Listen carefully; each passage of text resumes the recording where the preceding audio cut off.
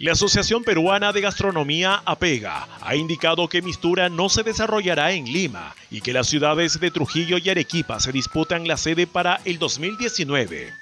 La noticia ha generado mucha expectativa entre autoridades locales y regionales de la ciudad norteña. Sería muy atractivo porque es un evento ya de reconocimiento nacional e internacional y hay mucha gente, inclusive turistas gastronómicos que vienen especialmente por Mistura. El primero en opinar fue el presidente de la Cámara de Comercio y Producción La Libertad.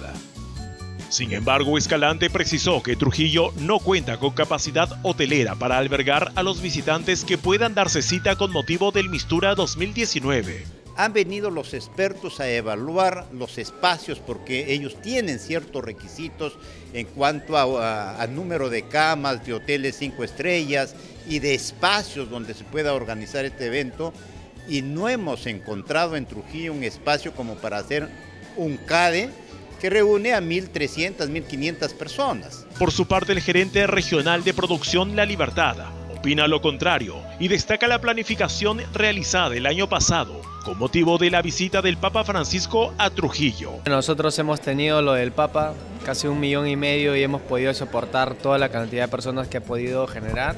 Entonces yo pienso que eh, se podría hacer, ya tenemos la experiencia, lo que, hemos, lo que se hizo desde su momento de la Gerencia de Comercio Exterior y Turismo de la Unión Regional, es que las casas se convertían en hospedaje pasando siempre los filtros necesarios. La feria gastronómica fue creada en el año 2008 con el nombre de Perú Mucho Gusto.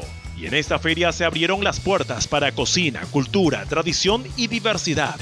Anualmente todos los comensales nacionales e internacionales asisten a este evento a probar los deliciosos platos peruanos preparados con insumos autóctonos y la sazón heredada de nuestros ancestros.